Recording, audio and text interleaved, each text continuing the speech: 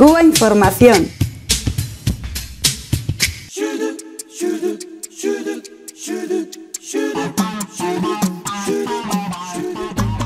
Hablamos sobre inversión extranjera en Cuba, en concreto en la industria cubana. Se celebra estos días Cuba Industria 2016, una gran feria internacional en la que Cuba está tratando de captar inversiones de diferentes países en eh, las diferentes ramas de la industria. Y dos actores importantes que yo mencionaría, Rusia y China, por supuesto, entre muchos otros. Rusia, por ejemplo, está contribuyendo a la modernización de una de las grandes industrias estratégicas eh, de Cuba, Antillana de Acero, y también está suministrando eh, una buena parte del, transporte de carga, de las, eh, los elementos para las vías ferroviarias. También se, se, anunciaba que en este mes de julio comenzarán a llegar de nuevo los eh, famosos camiones Kamaz eh, rusos a, Cuba. Y el caso de China, donde mm, el gobierno cubano y, la, y el chino acaban de firmar un plan de acción 2016-2018, es decir, un plan presente a corto plazo en tres líneas fundamentales. Una, la producción de electrodomésticos, eh, particularmente televisores, en Cuba. Eh, también la modernización de la industria de las imprentas, de, los poligráficos en La Habana, Villa Clara y Holguín.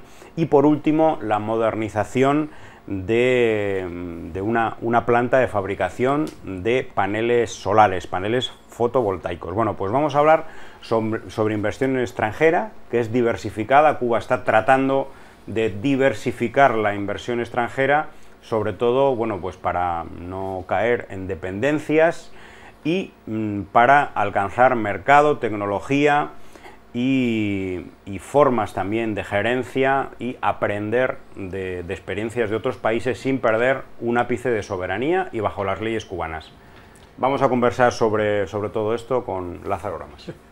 Bueno, extraordinariamente importante en este momento y dentro de este proceso que tiene lugar en, cuanto a las relaciones, la, en la normalización de las relaciones entre Cuba y Estados Unidos. Hay que tener en cuenta que sea, durante muchos años la política de Estados Unidos eh, ha, servido también, la política de bloqueo económico, financiero y comercial, ha sido como un muro para disuadir a inversores, empresas, inversores de países occidentales, incluso de países que tienen una relación de respeto hacia Cuba, hacia, la revolución cubana y el pueblo hay países, aunque tengan una ideología o practiquen, tienen un sistema político diferente, pero sí tienen, han tenido una posición de respeto para con Cuba y, eh, bueno, no se han, digamos, eh, plegado completamente a las políticas de Estados Unidos. Esta, esta Cuba Industria 2016 abre un nuevo escenario dentro de todo este proceso. Un escenario en el cual eh, Cuba eh, y, no por gusto, invitado de honor en este Cuba Industria 2016 es Rusia, lo que significa el papel que tiene Rusia en este escenario de actualización del modelo económico cubano. Eh, Rusia, eh, bueno, por razones históricas hay, uno, hay unos lazos, hay, hay un nivel de confianza muy grande y muestra el estado actual de las relaciones económicas, políticas eh, y estratégica también con Rusia. O sea, Rusia es, es, importante dentro de este escenario y desde luego China. China que tienen ambos presencia importante no solo en Cuba, sino en América Latina y el Caribe. De ahí las prisas de los Estados Unidos por eh, acercarse a Cuba para no perder esos espacios. Todo esto, todo esto está dentro de la geopolítica y la geoestrategia, pero no cabe duda que a Cuba eh, le interesa, muy beneficioso esto, eh, esta, esta, este foro, este evento, por cuanto se requiere, como bien señaló el ministro de Industria, la industria cubana evidentemente tiene un retraso tecnológico, es necesario buscar diversificar inversores para no solo el tema de la industria, sino en el campo de la economía en general de Cuba, en ese proceso se está pero eh, en cuanto a ramas importantes como es la, la industria sideromecánica, la industria ligera, eh, también la, siderúrgica, farmacéutica, o sea que hay una serie de campos que se requiere inversión tecnológica, modernización de, todo el sistema industrial y este, este evento pues eh, requiere eh, o sea, tiene esa importancia, hay interés en invertir en Cuba, hay que tener en cuenta que están participando 2000, más de 2.000 invitados de 29 países, lo que indica que hay un interés marcado por aprovechar también las oportunidades de negocio que brinda la actual política de Cuba, del gobierno revolucionario, eh, para modernizar y para avanzar en la implementación de la nueva política económica del país. Sí, yo hay, hay dos cosas que, que, me parece muy interesante también al, hilo un poco de, de, lo que ha dicho Lázaro. ¿no? Por una parte también destacar el, el tema de, mm, de, de, las energías renovables, que es uno de los puntos donde, donde, se, ha hecho, donde se ha hecho hincapié en esta eh, en esta reunión. ¿no? Entonces, yo creo que una de las cosas, el, destacar el, esa, ese afán de, de bueno, de, de, profundizar en un montón de, aspectos que, que, que, bueno, como, como habíamos visto, ¿no? y fruto del propio bloqueo, pues había quedado eh, ciertos sectores de la, de, la, industria muy, muy retrasados. ¿no? Y es decir, sí, vamos a, vamos a desarrollarlos, pero en esta línea. ¿no?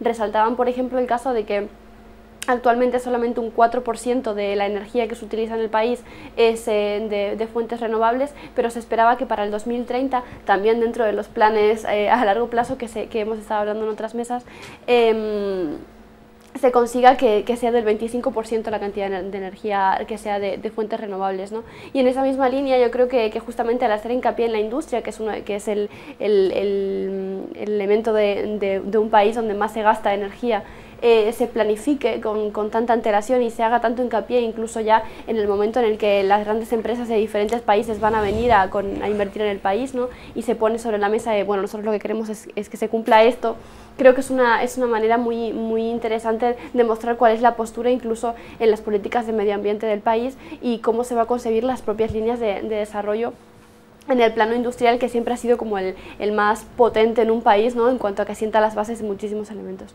Y por otra parte yo, yo destacaría también el, lo que comentabas tú al inicio, ¿no? De, del diversificar. Es decir, han participado más de, más de 2.000 eh, 2.000 delegaciones y, creo que es muy, muy interesante el, resaltar, por una parte, pues eh, la, la, presencia de, de, China y Rusia, pero también que haya asistido Estados Unidos, ¿no? Es decir, creo que es muy, muy, muy interesante ver cómo se plantea esa diversificación, porque también es un gesto de mm, de soberanía muy fuerte y de tener muy, muy asentados los principios, ¿no? Es decir, eh, nosotros vamos a ir con la misma línea de, de exigencia o sabemos cuáles son las bases y se les va a poner sobre la mesa a todas las personas, ¿no? Entonces, eh, eh, el, vendrá de la contraparte el, el, ajustarse a ellas o no ajustarse, ¿no? Por lo tanto, creo que eso también muestra un, gesto de, de, democracia muy, muy fuerte, ¿no? Y sobre todo, de tener asentados cuáles son los principios que van a regir la economía, sobre todo cuando se tiene en cuenta de que son a muy largo plazo ¿no? Estamos hablando de, de la industria, que es un... Que es un que es un sector que mueve muchísimo dinero, pero sobre todo pone, eh, pone sobre la mesa cuáles son las líneas económicas del país, ¿no? Y creo que eso es una de las cosas más importantes que yo destacaría de aquí. Bueno, hay que decir que, mm, que están sobre la mesa posibilidades de inversión de diferentes países, pero estos países, unos están un poco más adelante que otros, ¿no? Y Estados Unidos, indudablemente, si quiere participar de la parte de negocio que ofrece Cuba, porque Cuba necesita desarrollar su economía y creo que lo está haciendo con, valentía y estableciendo unas normas eh, soberanas en cualquier eh, caso, bueno, pues tendrá que adaptarse a esta soberanía y a estas normas cubanas porque Cuba o el gobierno cubano jamás le ha impedido al capital estadounidense, sabiendo que indudablemente nunca van a coincidir en lo ideológico ni en el proyecto de país, pero nunca le ha impedido mm, poder llegar a acuerdos con, con el gobierno cubano o con las empresas cubanas. Y como decimos, hay algunos países que ya han tomado la iniciativa y esto es una, una especie de carrera. ¿no? Efectivamente, nos sorprende ver en la nota, bueno, está en China, obviamente Rusia con las delegaciones más grandes, pero nos sorprende, por ejemplo, que entre las delegaciones más grandes está España, está Italia y sorprendentemente Panamá. Posiblemente sea una ruta por dar una vuelta para que el capital norteamericano intente también aterrizar en la isla. Y también ponen claro el hecho de que obviamente está Estados Unidos, está, eh, está Vietnam, está Venezuela, Francia, Alemania, bueno, digamos toda Europa ahí, ¿no? Pero ponen en evidencia el hecho de que la exposición o, la parte que ocupa Estados Unidos, por ejemplo, no sea lo grande que debería ser, que realmente debería ser la más grande, el hecho que lamentablemente, a pesar de las bonitas palabras y todo lo que se ha dicho, el bloqueo es una realidad que pesa y asusta a la inversión estadounidense todavía, ¿no?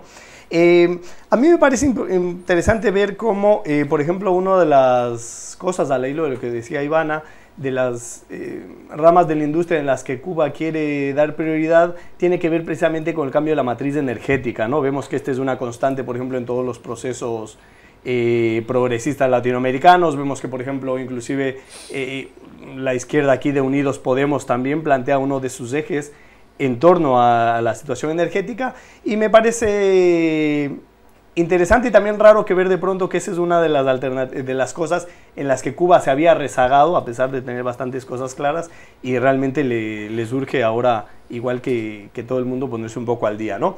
Y por otro lado también, por ejemplo, vemos que en los electrodomésticos hay énfasis especialmente en lo de la, los televisores, nos dice, ¿no?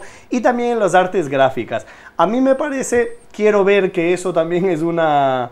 Eh, un tomar nota, un darse cuenta de que la comunicación cada día más en la situación actual de Cuba es fundamental y hay que modernizarse y hay que... Em, eh, me imagino que si estamos preparándonos para producir mayores, tele, no mayores, bueno, también mayores seguramente, televisores, pero más televisores, también eso espero que se refleje en la producción cultural, ¿no? que también estemos pensando en producir más material porque sabemos que a nivel mundial la oferta del imperio, la oferta de la ideología esta de la bobera es asfixiante. Hay aspectos esenciales que son estratégicos dentro de la economía cubana que hay que desarrollar.